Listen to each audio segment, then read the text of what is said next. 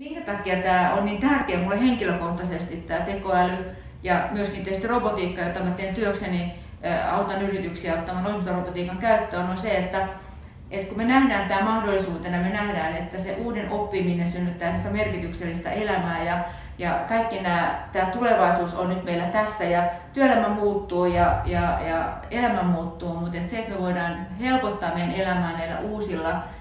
innovaatioilla, auttaa muiden elämää paremmaksi. Jos me ajatellaan vaikka vanhustenhuoltoa ja, ja liikennettä ja energiaa, niin siellä on paljon elementtejä, jotka todellakin auttaa meitä, meitä tota, meidän omassa arjessa. Ja mun mielestä se on se tärkeä tulokulma mulle tässä tekoälytyöryhmässä, että saan tuoda näitä osaamisen kehittämistä ja, ja helpompaa elämää ja, ja tietysti parempaa liiketoimintaa ja kansallista kilpailukykyä, niin ne on mulle tärkeitä.